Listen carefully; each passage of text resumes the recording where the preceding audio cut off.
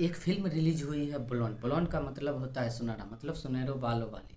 यह फ़िल्म जो है गाइस आपको देखने के लिए एक अलग आईक्यू चाहिए और आपको थोड़ा सा संयम और पेशेंस चाहिए, क्योंकि यह फ़िल्म ब्लैक एंड वाइट में है। हालाँकि रंगीन में भी है, लेकिन 80 परसेंट से 90 परसेंट यह फ़िल्म ब्लैक एंड वाइट वो भी 2022 में, अभी के समय में। यह फ़िल्म उसी पर आधारित है गाइस और डायरेक्शन का जो डोमिनिक भाई साहब ने इस फ़िल्म को बनाया है, काफ़ी एक अलग लेवल पर बनाया यह जो गाइज़ है, एक अमेरिकी अभिनेत्री के जीवन पर आधारित है। यह जो उपन्यास है गाइज़ जो कि 2008 में लिखा गया था, ओट्स जो अभिनेत्री थी, कैरोल ओट्स, जो अमेरिकी अभिनेत्री थी, मर्लिन मुनरो, जो कि उसके जीवन पे आधारित एक काल्पनिक कहानी है।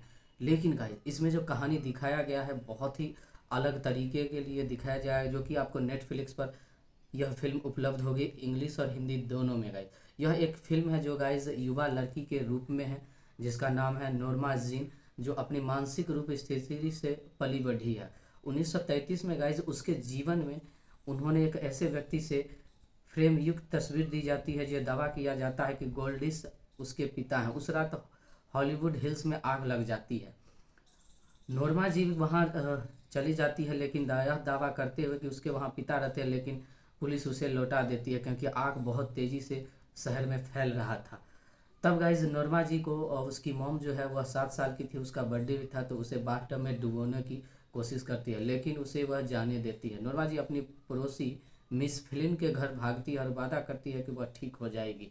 उस दिन बाद गाइज़ जब नोरमा जी अनासाले पे दिया जाता है, जबकि गोल्डिस को एक मानसिक अस्पताल में भर्ती करा दिया जाता है, जिसे बच्चे को पालने के लिए अभियोग में घोषित मतलब दोषित करा दिया गया था गाइज़ इस फ़िल्म में जो है गाइज़ यह जो मर्लिन मुनरो है गाइज़ इनके जीवन में जो अमेरिकी अभिनेत्री है, जो बहुत 1933 से काम कर रही थी, इसके जीवन को दिखाया गया उपन्यास में इन्हीं के जीवनी पे बताया गया तो गाइज़ इसमें जो डोमिनिक भाई साहब ने है ना, एक अलग लेवल पर इसका दिया, क्योंकि 90 परसेंट तो भाई ब्लैक एंड वाइट ही हमको फ़िल्म में लग रहा है। आपको देखने के लिए थोड़ा सा पेशेंस रहना चाहिए और आपको बोरिंग भी लगेगा। लेकिन अगर आप फ़िल्म देखना चाहते हैं तो आपको टाइम देना पड़ेगा। और इस फ़िल्म में यह दिखाया गया कि कैसे उस समय में यह अभिनेत्री सुपरस्टार बनी थी। सब लोग मर्दों के बीच में। उस समय गाइज़ मर्दों के लिए के लिए ही सब कुछ था। औरतों को उस समय वैल्यू नहीं दिया जाता था। इस फ़िल्म में जो है गाइज़ एक अलग लेवल का मतलब डायरेक्शन किया गया है कोरियोग्राफी किया गया है और हु बहू जो उनके जीवनी है, उसी को पर्दे पे उतारा गया है।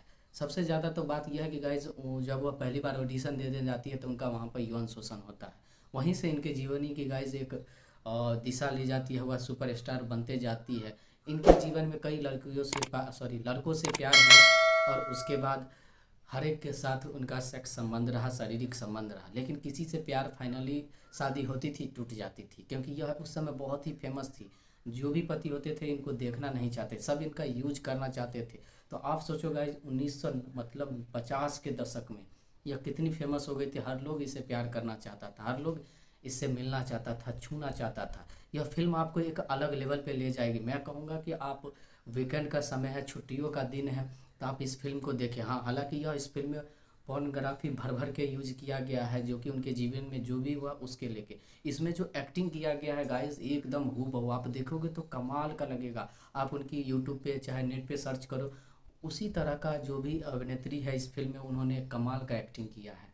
तो इस फ़िल्म को आपको गाइज़ देखना चाहिए। हालाँकि इस फ़िल्म को गाइज़ मैं पाँच स्टार में से थ्री पॉइंट फाइव स्टार देना चाहूँगा, लेकिन कहानी बहुत ही अच्छा है।